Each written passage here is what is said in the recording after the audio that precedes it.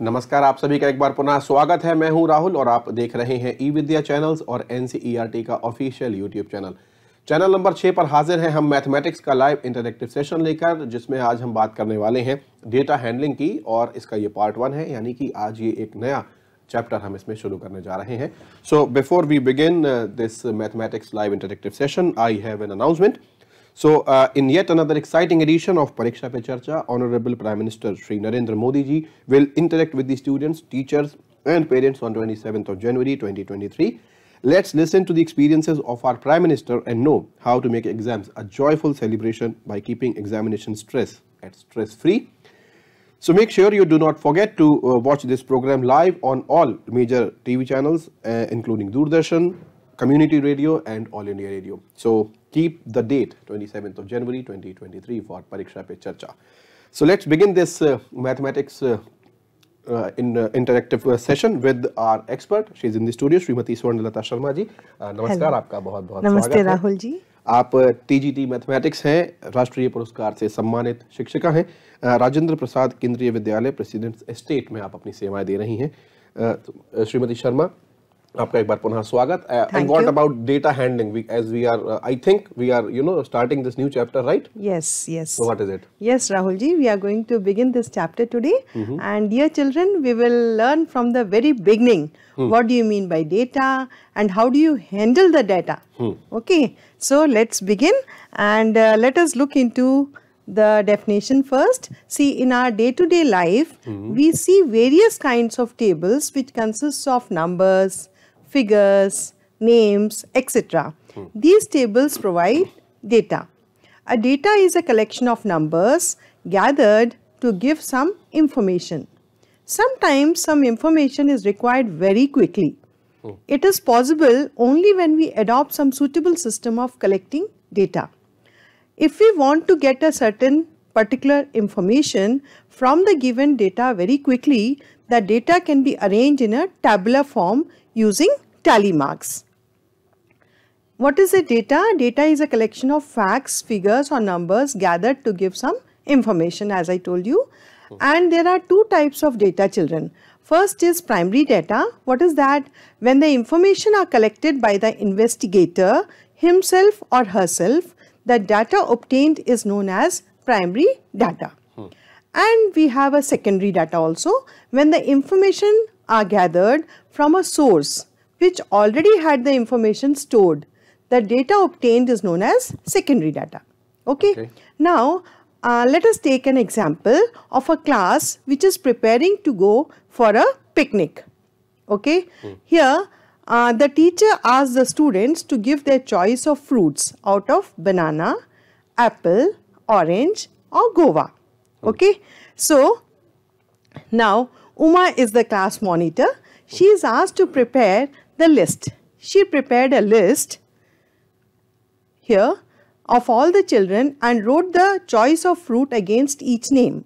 This list would help the teacher to distribute fruits according to the choice. Let's see here see raghav has opted for banana you are right you are right, right? it makes very interesting and the right. notebook also becomes very colorful yes. you know yes. uh, which fruit is most liked by the students rahulji can yes. you tell me by seeing the smileys okay which uh, fruit is, is, most liked by the students banana yes Maximum very students. good see just at the sight of right. it you can give mm. the hmm. answer mm. which fruit is least liked by the students mm. three it was yeah it is orange, orange right so how many students are there in the class we can just count the We number of smileys, smileys. and we can give the answer. Right. I think they are 20 in number. 20, yes. Right? Total 20. So, it was interesting, right? 100%. Now, see here, we have.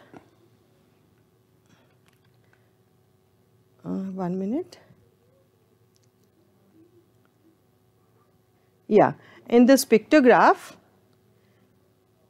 let us see an example. Hmm. In a mathematics test, the following marks were obtained by 40 students. Hmm. Arrange these marks in a table using tally marks. Some list of marks are given uh, which were conducted in the class.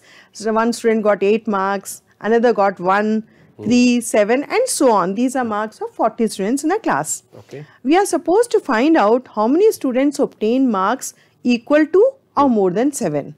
It looks tedious, right? How to find out 7 and more than 7, right? And same way, how many students obtain marks below 4? है ना तो how to solve this type of question uh, in a easy manner we will make a frequency table using tally marks let us look into that see in the first column of the table we write the values of marks obtained by the students starting from the lowest to the highest okay 1 se leke hmm. 1, 2, 3, 4 like that. Right. And in the second column, a vertical line uh, called as the tally mark is put against the number wherever it occurs. Hmm. For our convenience, we shall keep the tally marks in bunches of 5. The fifth mark being drawn diagonally across the first 4. Hmm. We continue this, this process for all the values of the first column. Hmm. Finally, we count the number of tally marks corresponding to each observation and write the number in the third column to represent the number of students. Okay, now let us see how we have solved this. We have the table as under. One mark was obtained by two students. So there are two tally marks, Rahul ji. We can write down number of Right. students. Okay. Two marks were obtained by three students. students. So three tally marks are there Okay. and number of students is three. Hmm. Three marks were obtained by again three students. So number of students is three. For four, you can see how many students have got uh, uh, four, marks. Seven. Seven. Bundle of five is there Yes. plus two. Two. It makes easy to count, no? Right. Five plus two is seven. Likewise, five marks were obtained by six students. Six marks were obtained by seven students. Seven marks by five students. Eight marks by four students. And nine marks by three students. And as we can see, if I count the total number of students, they are 40, 40. in number. Okay, this is known as frequency distribution table. We have made with the help of tally marks. Okay. Okay, this is the first way of representing our data in an organized manner. Right. Now, slowly as you go, uh, there will be better ways of representing it. But to begin with, this is the simplest way. Okay. Now, see from the above table, clearly the number of students who obtain marks equal to or more than 7 marks are 5 plus 4 plus 3 that is equal to 12. Let us see how. See more than 7. Can you see Rahulji? Against 7 I have 5 and against 8 there is 4 and 9 there is 3. So 5 plus 4 plus 3 is how much? 9, 10, 11, 12. 12 students have got marks 7 or more, More than than- 7 right. right now with the help of tally marks table it becomes easy for us to study the data hmm. and next question was about how many students obtain marks below 4 see below 4 i can see in this. Uh, below 4 you can see uh, 3 plus 3 plus 2 how much is Eight. it? Eight. yes. So 2 plus 3 plus 3 is Eight. 8 है ना so it makes easy uh, to do it. Now next another question we have here. In a village six fruit merchants sold the following number of fruit baskets in a particular season can you see rahim lakhanpal anwar martin ranjit singh and joseph, and you know rahul ji one fruit basket is there and that is uh, representing 100 fruit baskets Okay. so uh, rahim is having how many number of fruit baskets here Uh, four. he has sold 4 into 100. So 400 fruit baskets he has sold. Okay. Lakhanpal, can you see here? We have 4 and fifth one is there and sixth is half. Half, yes. So that is uh, representing 50, fruit baskets. okay. So like that we make the data uh, with the help of pictograph. Now we are supposed to answer these following questions by seeing the pictograph. First question is which merchant sold the maximum number of baskets? Can you see from the table? Martin. Martin, very good. So we need not even count. Yes. If we are able to see with the picture and right. answer the question. So helpful is the pictograph. Second is how many fruit baskets were sold by Anwar? Anwar, how many we can see? 1, 2, 3, 4, 5, 6, 7. Seven. So 7 into 100 gives me 700. 700. Okay, so I cannot draw uh, 700 baskets. I, instead, I can draw one basket and show that it is equal to 100 fruit 100. baskets.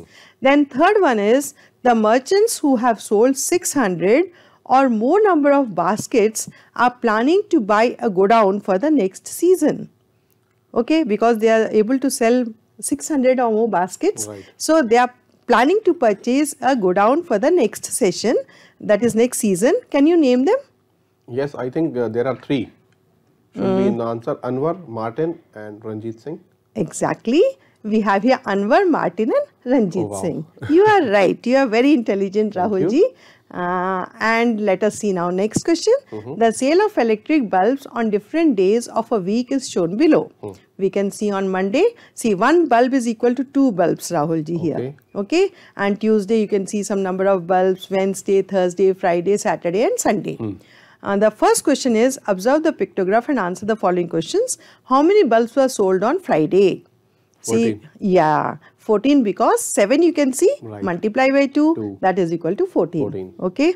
Now, next, the sale of electric bulbs again here.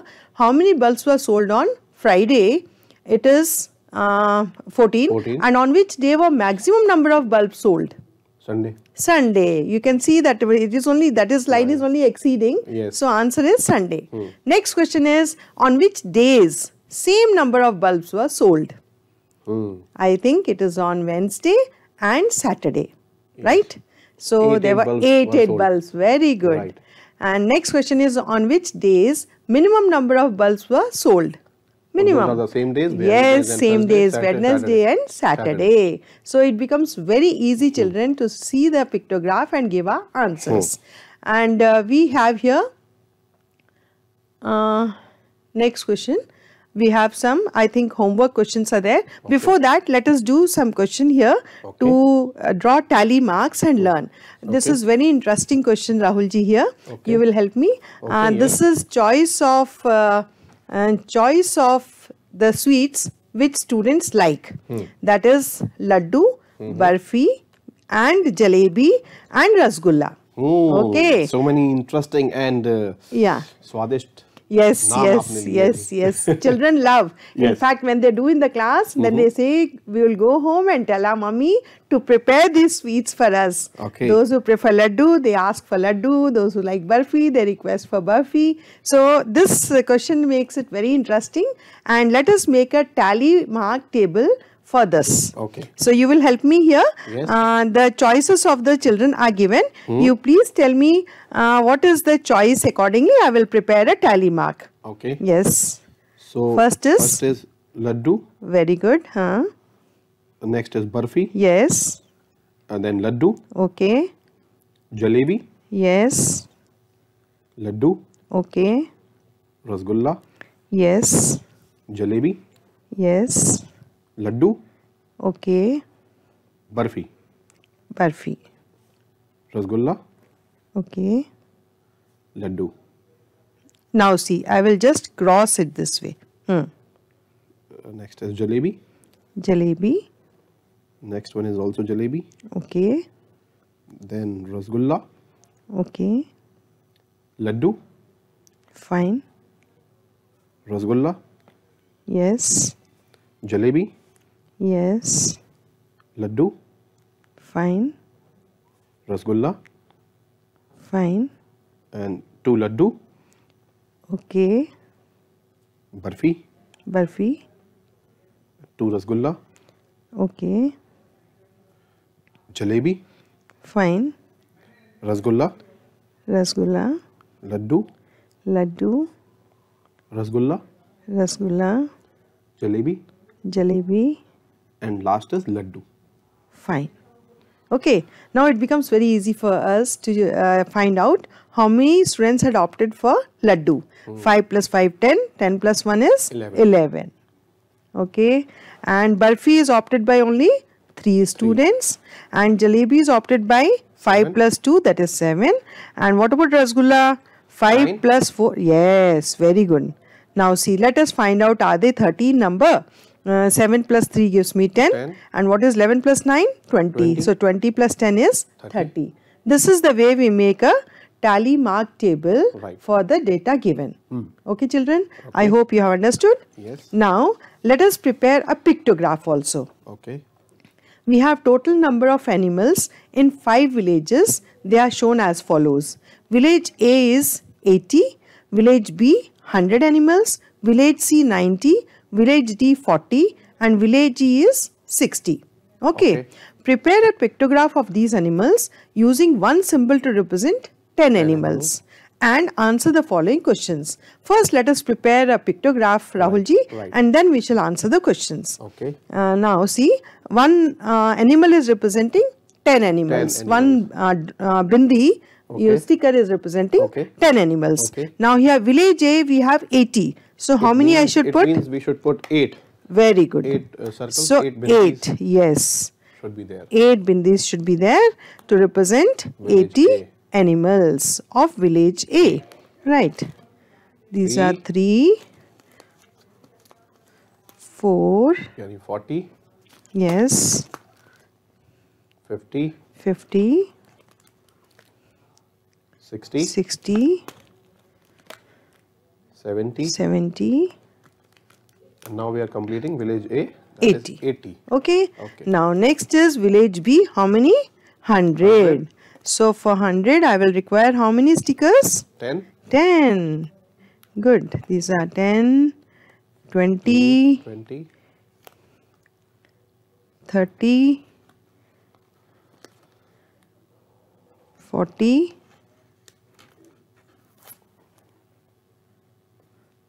50, 60, 70, 80, 80, 90, 90 and this makes 100 animals okay? 10 stickers are representing animal. Now village c has 90 9, so i have to put how many stickers 9 2 3 4 5 6 7, 7 8 and this makes 9 9. what about village d D has 40. 40. means we have yes four circles yes representing 2 10 animals. Yes. Sign. very good 3 4. and this is 4 so 4 stickers means 40, 40. because one sticker means 10, animals. animals. now village e has how many 60, 60. So i will require stickers. 6 stickers 2 3 Mhm. 4 5 and this makes Six. 6 so this completes my pictograph okay children i hope you have understood how to draw a pictograph Okay. now how many symbols represent animals of village e village e how many symbols are there 6. yes very good so answer is 6 which village has maximum number of animals B. it is village b Very easy. to okay find. very easy to find with the help of pictograph. Pictograph. okay so children i hope you have understood how to draw the tally mark table and you have also understood how to make a pictograph Hmm. right now you please take down uh, one, two questions for you one Okay. on tally mark and one on pictograph Okay. ना? See on your screen. Question 1 is a dice was thrown 30 times and the following outcomes were noted. Hmm. 4, 3, 3. You know what's a dice? It gives, Okay. it has 6 phases. So you hmm. will be finding 1, 2, 3, 4, 5 and 6. Mm-hmm. These were the observations. Represent the above data in the form of frequency Distribution. distribution. Okay children? Okay. Next question is the number of cricket bats sold by a shop during a week are given below. Day Monday, Tuesday, Wednesday, Thursday, Friday, Saturday, and Sunday. And what about Saturday? Sorry. Hmm. And number of bats sold were 20 on Monday, 12 on Tuesday, 24 on Wednesday, hmm. 32 on Thursday, and 8 on Friday, and 16 on Saturday. You are supposed to draw a pictograph with the help of the given data. I hope it is easy. Yes. You will enjoy doing it. Yes, we can Yes. uh, make the uh, pictograph easily, I think, and uh, Yes. they will send us, uh, Yes. uh, you know, through the uh, uh, through the email ID of class six. Yes. So uh, let's uh, conclude this session now, and I'm sure these activities are, you know, fun filled for all for all the students. Yes. And it is a fun learning class as well. Yes, So, yes. so Mrs. Sharma, thank you very much for this, you know, bringing Thank this you. wonderful class for us with these uh, uh, I think engaging activities for the kids as well. Thank they you. can try laddu today Yes. because we have the maximum students those who like laddu, Yes, including yes, me. Yes, yeah. Oh, So, ac- that's actually, nice. Wish you uh, good luck. मैं भी वहाँ पे था मुझे लगता है including. So thank you very much for your Yes. time and for this Okay. wonderful class. Thank बहुत-बहुत you. धन्यवाद Thank आपका। you, viewers. हमारा ये मैथमेटिक्स का सेशन हम यही समाप्त करेंगे। समाप्ति के साथ साथ एक एक उद्घोषणा भी है मेरे पास, जिसे मैं आप सबके साथ साझा करना चाहूँगा। और वो ये है कि इस बार परीक्षा पे चर्चा 27 जनवरी 2023 को होगी। इस कार्यक्रम में प्रधानमंत्री माननीय श्री नरेंद्र मोदी जी, विद्यार्थियों, शिक्षकों और अभिभावकों से सीधे संवाद करेंगे। आइए प्रधानमंत्री जी के जीवन के अनुभव सुने और जाने की तनाव रहित रहकर परीक्षा को उत्सव कैसे बनाया जा सकता है। इस कार्यक्रम का सीधा प्रसारण दूरदर्शन समेत सभी प्रमुख चैनल और ऑल इंडिया रेडियो करेंगे तो देखना ना भूलिएगा, परीक्षा पे चर्चा। फ़िलहाल हमारा ये कार्यक्रम हम यहीं समाप्त करते हैं। वेबिनार के लिए आप जुड़े रहिए हमारे साथ। हम थोड़ी ही देर में हाजिर होंगे। नमस्कार।